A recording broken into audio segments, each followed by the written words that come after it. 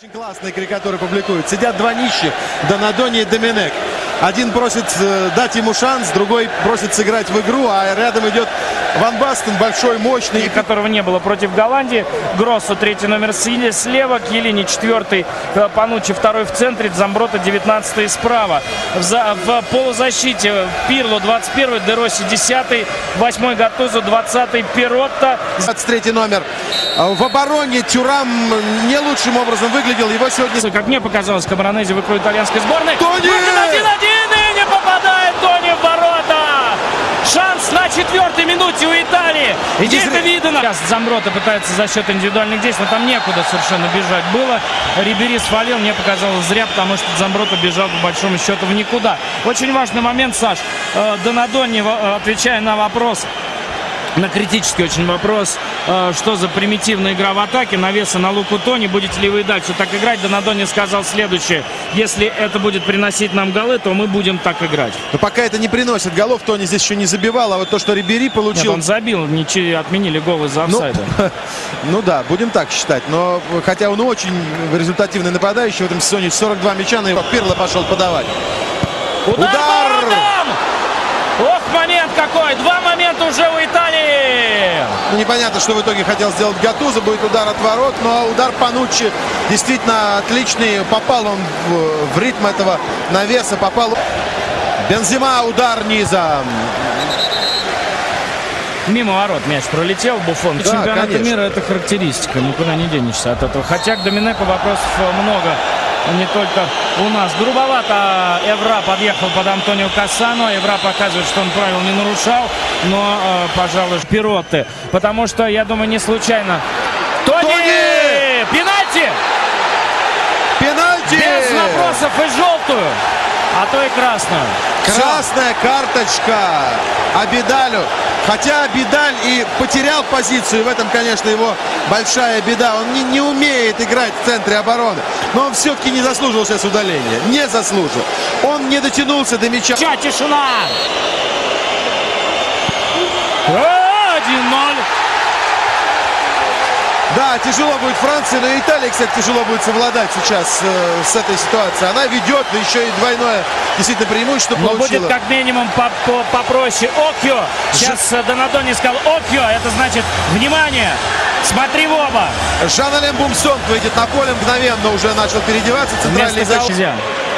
Карьера только-только начинается у молодого, многообещающего. Скрылся. А так Италия будет атаковать. Да, и причем Де сейчас Росси! очень опасно. Если в этот мяч попал в кого-нибудь из французских игроков, это мог быть нокаут. Ну, Франц пенальти открыл счет. Кассану с мячом. Подача в сторону. Тони! Ты видел, что он сделал? Феноменальной пластикой обладает этот гигант. По-моему, самый пластичный сон. Ну, Бумсон, конечно, в паре с Галасом. Тони! Нет вне игры! Но сейчас надо было завершать эту игру. Лука! Как же так? Ну, три момента подряд Италия не забивает. Ну, доходит. Но они потихонечку оживают. Анри! Удар в дальний угол! Вот, пожалуйста, три касания всего из обороны сделали французы. И вроде бы как-то благодушно Италия.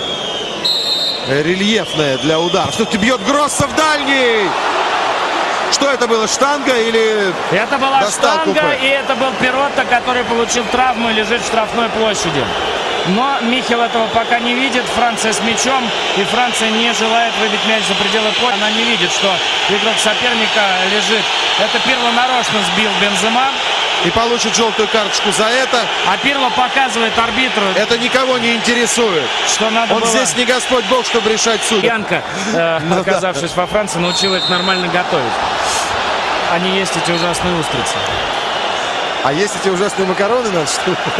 Ну, По Макарон справляется с этим навесом. Михел дает свисток. В нервной обстановке заканчивался первый тайм этого матча. Андреа Пирло, который в любом случае не сыграет в четвертьфинале, если Италия туда попадет, потому что он получил вторую желтую карточку на этом турнире. Он с пенальти забил гол, который... И все-таки, э, насколько левее Пирло, 21 чуть правее Гатузо, 8 и э, вверху этого ромба 20 номер Пиротто. Желтая карточка сейчас Сиднею Гову. И впереди сегодня два нападающих сборной. Помог Гавуту Ляляну. Прострел, удар. Мог быть удар. Вот сейчас бьет Бензема. Помешали защитники пробить Тири Анри, а вот Бензема не прикрыли. Помнишь, мы с тобой говорили, что перед штрафной было бы кому откатить мяч. Сейчас правильно. Они впереди все остаются. Андрей. Разворот, удар. Ну, слабо, конечно. Слабо для... Клер открылся справа, совершенно один был. Почувствовать просто-напросто. Андрей. Андрей как капитан берет все на себя для разминки. Упал Буфон, удар был вновь у Тири не сильный. И игра на результат. Ради результата все простительно, но у нас Гатузо. есть пример э, Гатузо остается без э, гипотетического четвертьфинала. Ударив по ноге Макелеле.